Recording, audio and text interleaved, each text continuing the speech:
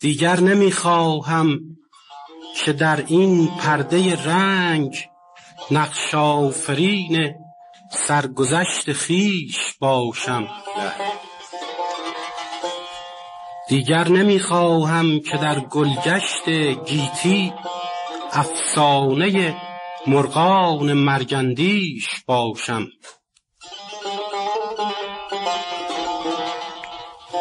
دیگر نمی‌خواهم که با افسون این چنگ در نغمه جادویی بیاموزم سخن را. در تار و پود ساز هستی خانه سازم. رنگین کنم از شور مستی انجمن را. دیگر نمی‌خواهم که از عشقی توانسوز طبع غزل پرداز. شورانگیز گردد. در محفل اندیشه خودکامه چند جام هوس از شعر من لبریز گردد.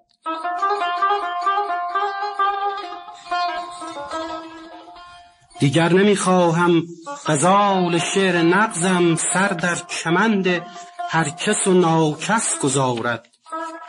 دست تمنا آسمانی گوهرم را نشناخته در دامن هر خس گذارد.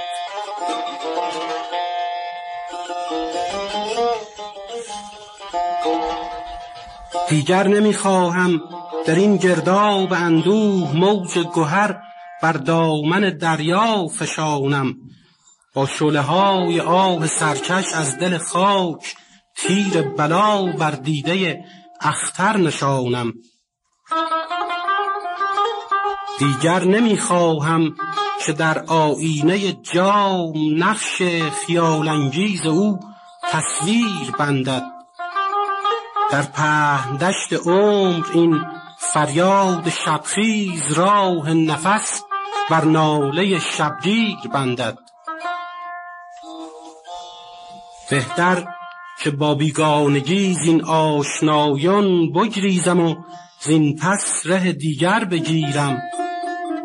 داغ جنون در لاله خورشید ریزم. از خون رنگین شفق ساغر بگیرم.